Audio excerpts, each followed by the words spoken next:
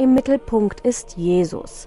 Das hat Papst Franziskus an diesem Sonntag bei der Messe zum Welttag des gottgeweihten Lebens mit mehreren tausend Ordensleuten betont.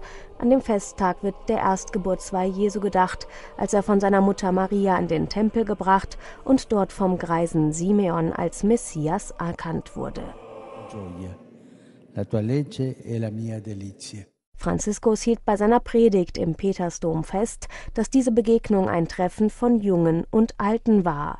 È un incontro tra i giovani pieni di gioia es ist ein Treffen zwischen Jugendlichen, die voller Freude über die Einhaltung des Gesetzes des Herrn sind, und älteren Menschen, die voll Freude sind über die Handlung des Heiligen Geistes.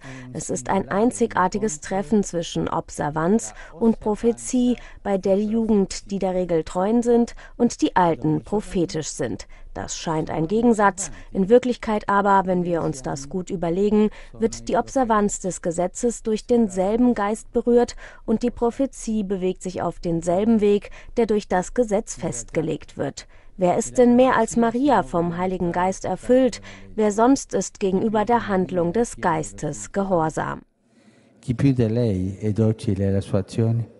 Im Licht dieser Szene aus dem Lukasevangelium blickte Franziskus dann auch auf das geweihte Leben als ein Treffen mit Christus.